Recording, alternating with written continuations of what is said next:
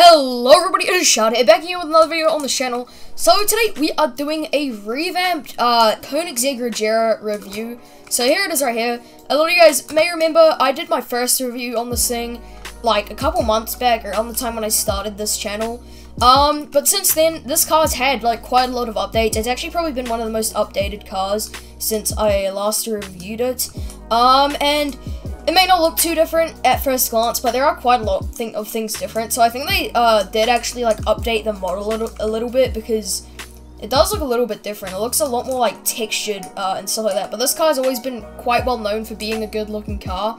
And also, again, I forgot to mention, I am borrowing my friend's account. So shout out to him for uh, letting me use this thing today because without him this video would not be possible. So yeah guys, anyways, let's get into the review on this car.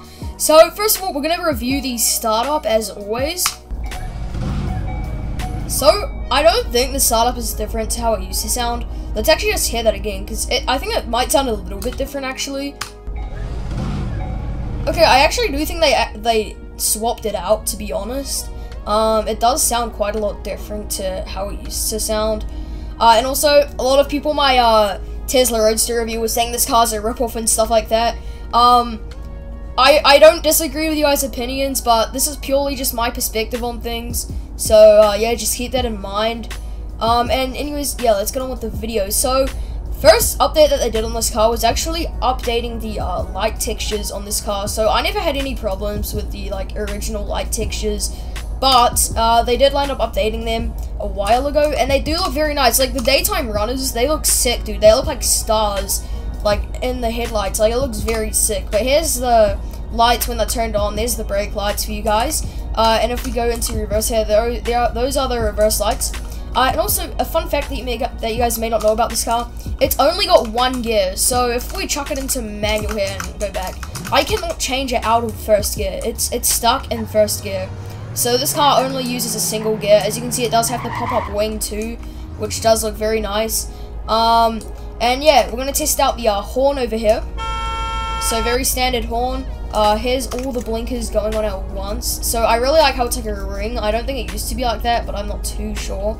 Um, the rear end ones look the same from what I can remember. Also, another thing, I don't think you can actually rev this car anymore. Um, there is a way how you can, but it's not the same as it used to be. So as you can see, it kind of just locks it there. Uh, so you can't really rev it. But I think if you put it in first gear and then park, um, maybe it's not. Maybe for whole. Okay, no. I actually can't remember. But there was a way how you could rev it.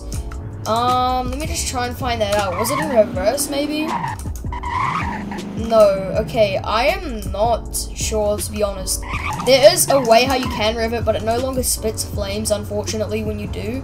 So, that kind of sucks, but, um, I guess it's just to make the car overall more realistic and stuff like that. So, yeah, and I swear they've made this car's acceleration faster. Like, I swear it's faster. It doesn't, it feels so much quicker now.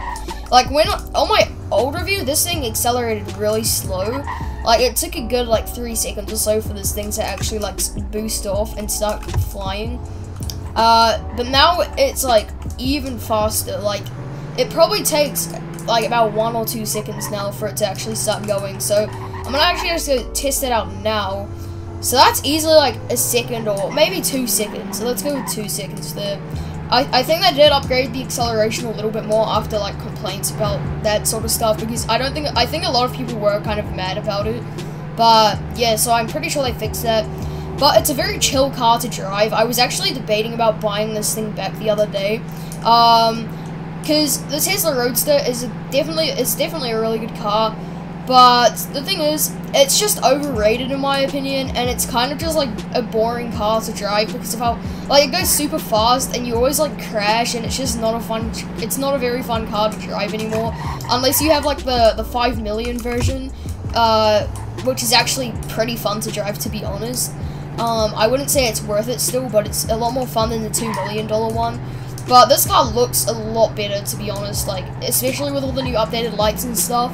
Hey, this this thing looks very nice. Um, and also it has a, um, I think it has a higher top speed than the 2 million Roadster as well, which is another good thing. Uh, now, for those of you wondering, this is the 2 million version of the Regera.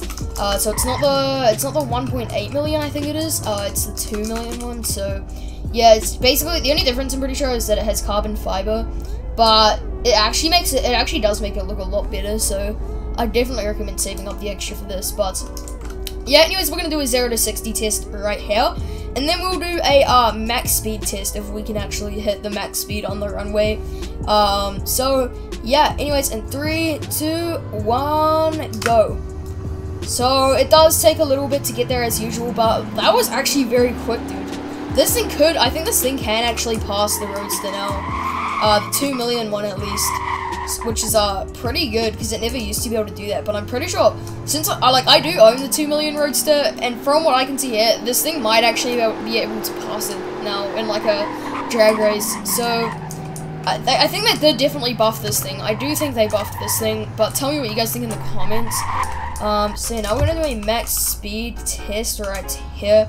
So let's just full floor it over here. I do love the wing on this thing though, it looks really nice. It's a lot bigger as well than the Tesla Roadster one.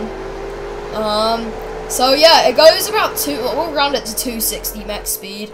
It's a very, uh, it's actually a really fast car. Um, and overall, it's a very good looking car as well. Would I recommend buying it? If you have the money, Probably, yeah, actually. If you're if you're not like if you're not really saving for anything else and you don't really know what else you want to get and all that stuff, I'd honestly re recommend getting this thing. This thing is absolutely it, this thing is so sick, dude. Uh, let's actually go into the dealership here and review the overall prices and stuff like that and the differences from the uh, two trims. So if I go here, go over to sports cars, uh, where would it be? Um, right here. Okay, so the 2017 Skane Rooster is what they call it in game. So we have the base trim over here, which pretty much looks the exact same, and then we have the uh, the CF. So the CF trim does make the colors look a bit darker from what I can see here, uh, which I do like a lot more, and it gives it that carbon fiber look as well. But I'm pretty sure it's the only difference. And they, okay, and you can change the rims to the CF as well for the base, which is very good. But yeah, it's actually a very nice looking car. It looks good in a lot of colors too. That's the thing that I like the most about it. So the CF trim, which is the carbon fiber uh, trim, costs $2 million, and this one costs 1.8 million. So not a big, it's not really that big of a price jump. It's honestly just more worth it getting this one though, if you don't like the Roadster. This is basically like the alternative version of the 2 million Roadster, if you kind of want a Roadster but with like not really, like, not if you want a roadster, but, like, if you want a fast car that actually has an engine in it, uh, then that's probably the way to go. Otherwise, a Speedtail. So, review on this coming soon, by the way. Um, but yeah, overall, uh, that's this entire review. Um, tell me what you guys think on the car in the comments. I'm open to all suggestions, like, all, uh, people's opinions and stuff like that. Like, I'm not gonna deny the fact that this car is a ripoff, but it, it overall just depends on what you think, to be honest. Um, but how much would I rate this car out of 10? Probably like a 7, 7.5 out of 10 we'll give it. Um, so pretty, pretty solid score right there for this thing. Uh, the, the Koenigsegg Regera. And anyways, yeah, that's gonna basically be it for today's video. So if you guys enjoyed, make sure to like and subscribe. And anyways, see you later and goodbye.